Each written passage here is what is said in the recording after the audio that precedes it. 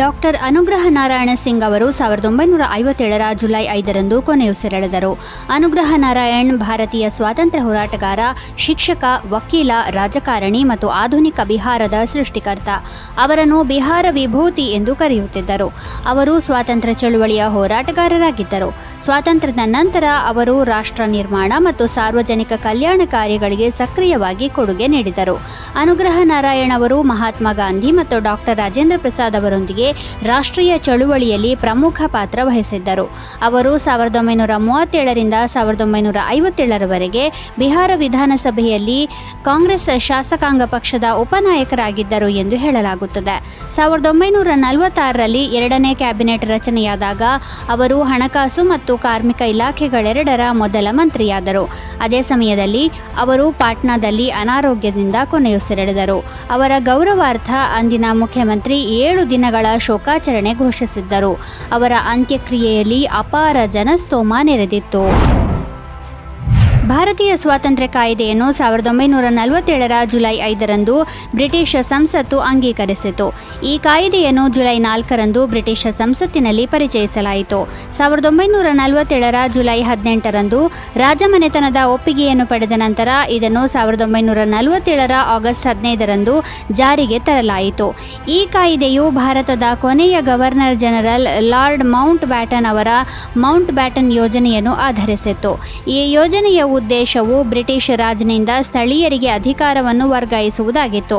ಈ ಕಾಯ್ದೆಯ ಅಡಿಯಲ್ಲಿ ಬ್ರಿಟಿಷ್ ಭಾರತವನ್ನು ಭಾರತ ಮತ್ತು ಪಾಕಿಸ್ತಾನ ಎಂಬ ಎರಡು ಸ್ವತಂತ್ರ ದೇಶಗಳಾಗಿ ವಿಂಗಡಿಸಲಾಯಿತು.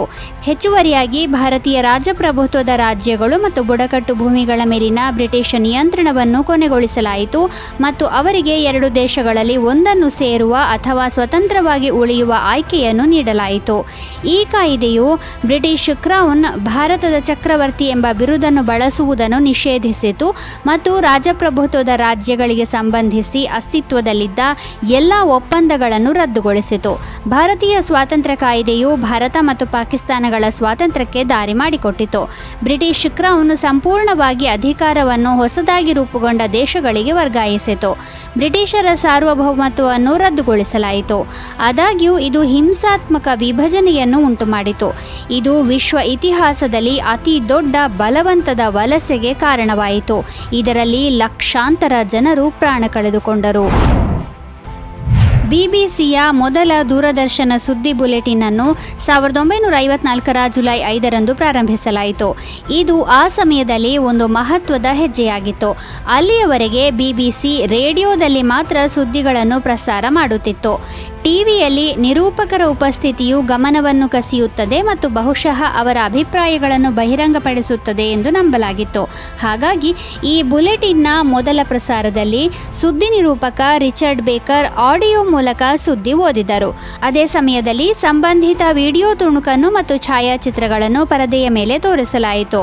ಬುಲೆಟಿನ್ನಲ್ಲಿನ ಪ್ರಮುಖ ಸುದ್ದಿ, ಭಾರತ ಚೀನಾ ಶಾಂತಿ ಮಾತುಕತೆ ನಂತರ ಟುನೇಷಿಯಾದಲ್ಲಿನ ಫ್ರೆಂಚ್ ಮಾತುಕತೆ ಆಗಿತ್ತು. ಸಾವಿರದ ಒಂಬೈನೂರ ಅರವತ್ತರ ಸೆಪ್ಟೆಂಬರ್ನಲ್ಲಿ ಹತ್ತು ಗಂಟೆಯ ಕಾರ್ಯಕ್ರಮವನ್ನು ಬಿಬಿಸಿಯಲ್ಲಿ ಮೊದಲ ಬಾರಿಗೆ ಪ್ರಸಾರ ಮಾಡಲಾಯಿತು. World at one news review ಮತ್ತು ನ್ಯೂಸ್ ರೀಲ್ ಕಾರ್ಯಕ್ರಮಗಳು ನಂತರದ ವರ್ಷಗಳಲ್ಲಿ ಬಂದವು.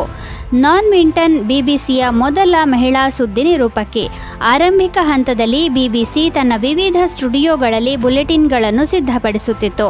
ಸಾವಿರದ ಒಂಬೈನೂರ ಅರವತ್ತೊಂಬತ್ತರ ಹೊತ್ತಿಗೆ ಬಿಬಿಸಿ ಎಲ್ಲ ಟಿವಿ ಸುದ್ದಿ ಕಾರ್ಯಾಚರಣೆಗಳನ್ನು ವೈಟ್ ಸಿಟಿಯಲ್ಲಿರುವ ತನ್ನ ದೂರದರ್ಶನ ಕೇಂದ್ರಕ್ಕೆ ಸ್ಥಳಾಂತರಿಸಿತು. ಸಾವಿರದ ಒಂಬೈನೂರ ತೊಂಬತ್ತಾರರ ಜುಲೈ ಐದರಂದು ಕ್ಲೋನಿಂಗ್ ತಂತ್ರಜ್ಞಾನದ ಮೂಲಕ ರಚಿಸಲಾದ ಡಾಲಿ ಎಂಬ ಕುರಿ ಜನಿಸಿತು. ಈ ರೀತಿಯಾಗಿ ಹುಟ್ಟಿದ ವಿಶ್ವದ ಮೊದಲ ಜೀವಿ ಇದು. ಸ್ಕಾಟ್ಲೆಂಡ್ನ ಎಡಿನ್ಬರ್ಗ್ ಬಳಿಯ ರೋಸ್ಲಿನ್ ಇನ್ಸ್ಟಿಟ್ಯೂಟ್ನ ವಿಜ್ಞಾನಿಗಳು ಡಾಲಿಯನ್ನು ರಚಿಸಿದ್ದರು. ಈ ಪ್ರಕ್ರಿಯೆಯನ್ನು ಇಯಾನ್ ವಿಲ್ಮಾಟ್ ಮತ್ತು ಅವರ ತಂಡ ನಡೆಸಿತು. ಕ್ಲೋನಿಂಗ್ ತಂತ್ರದಲ್ಲಿ ಬಿಳಿ ಕುರಿಯ ದೇಹದಿಂದ ದೇಹದ ಜೀವಕೋಶಗಳನ್ನು ಹೊರತೆಗೆಯಲಾಯಿತು ಮತ್ತು ಇನ್ನೊಂದು ಕುರಿಯ ದೇಹದಿಂದ ಎಕ್ಸೆಲ್ಗಳನ್ನು ಹೊರತೆಗೆಯಲಾಯಿತು ಎಂದು ಹೇಳಲಾಗುತ್ತದೆ. ನಂತರ ಈ ಎರಡು ಕೋಶಗಳನ್ನು ಪರಮಾಣು ವರ್ಗಾವಣೆಯ ಮೂಲಕ ಬೆಸೆಯಲಾಯಿತು ಮತ್ತು ಮೂರನೇ ಕುರಿಯ ಗರ್ಭಾಶಯಕ್ಕೆ ಸೇರಿಸಲಾಯಿತು. ಮೂರನೆಯ ಕುರಿಯ ಪಾತ್ರವು ಈ ಮರಿಯನ್ನು ಅದರ ಹೊಟ್ಟೆಯಲ್ಲಿ ಸರಳವಾಗಿ ಪೋಷಿಸುವುದು ಆಗಿತ್ತು. ನಂತರ ಸಾವಿರದ ಒಂಬೈನೂರ ಅರವತ್ತಾರರ ಜುಲೈ ಐದರಂದು ಡಾಲಿ ಜನಿಸಿತು. ಇದನ್ನು ಏಳು ತಿಂಗಳ ನಂತರ, ಅಂದರೆ ಸಾವಿರದ ಒಂಬೈನೂರ ತೊಂಬತ್ತೇಳರ ಫೆಬ್ರವರಿ ಇಪ್ಪತ್ತೆರಡರಂದು ಜಗತ್ತಿನೆದುರು ತರಲಾಯಿತು.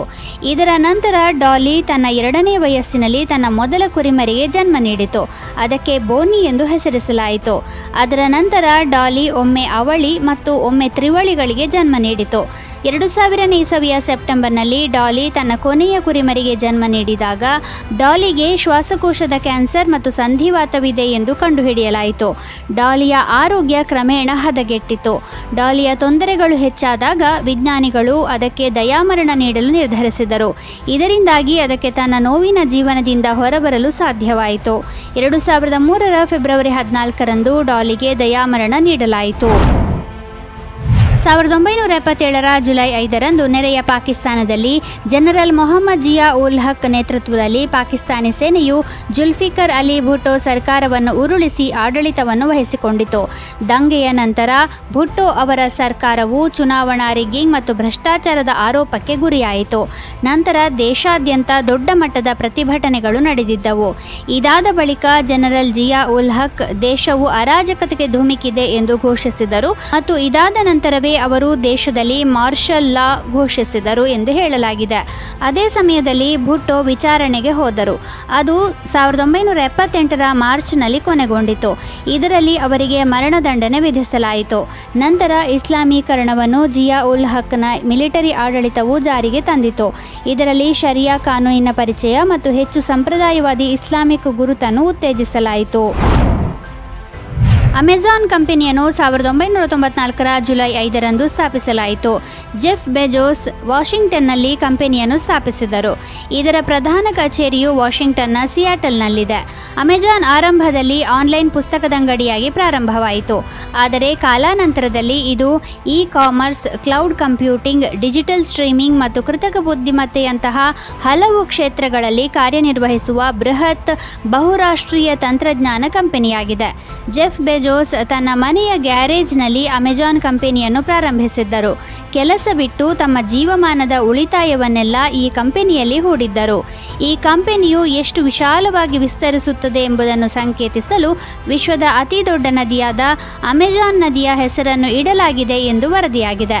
ಇಂದು ಅಮೆಜಾನ್ ಗ್ರಾಹಕರಿಗೆ ತ್ವರಿತ ವಿತರಣೆ, ಸ್ಟ್ರೀಮಿಂಗ್ ಸೇವೆಗಳು ಮತ್ತು ಇತರ ವಿಶೇಷ ಪ್ರಯೋಜನಗಳನ್ನು ಒದಗಿಸುವ ಪ್ರಧಾನ ಸೇವೆಯಂತಹ ಹಲವಾರು ವೈಶಿಷ್ಟ್ಯಗಳನ್ನು ಸೇರಿಸಿಕೊಂಡಿದೆ. ಇದಲ್ಲದೆ ಕಂಪನಿಯು ಅಮೆಜಾನ್ ವೆಬ್ ಸೇವೆಗಳ ಮೂಲಕ ಕ್ಲೌಡ್ ಕಂಪ್ಯೂಟಿಂಗ್ನಲ್ಲೂ ಉತ್ತಮ ಯಶಸ್ಸನ್ನು ಸಾಧಿಸಿದೆ.